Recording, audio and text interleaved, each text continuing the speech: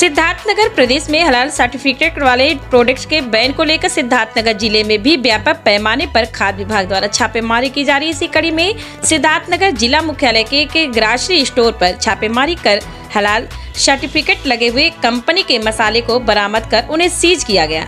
हलाल प्रोडक्ट की बिक्री को लेकर छापेमारी की कार्रवाई के बारे में बताते हुए सिद्धार्थनगर ज़िले के सहायक आयुक्त खाद्य सुरक्षा जेपी दुबे ने बताया कि सरकार द्वारा उत्तर प्रदेश सरकार द्वारा हलाल सर्टिफिकेट वाले प्रोडक्ट पर बैन लगने के बाद सिद्धार्थनगर ज़िले में कार्रवाई की जा रही है।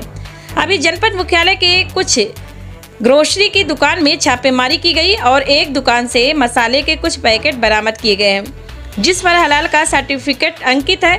उन्होंने कहा कि बरामद इन प्रोडक्ट्स को सील कर सील कर आगे के जाँच के लिए भेजा जा रहा है।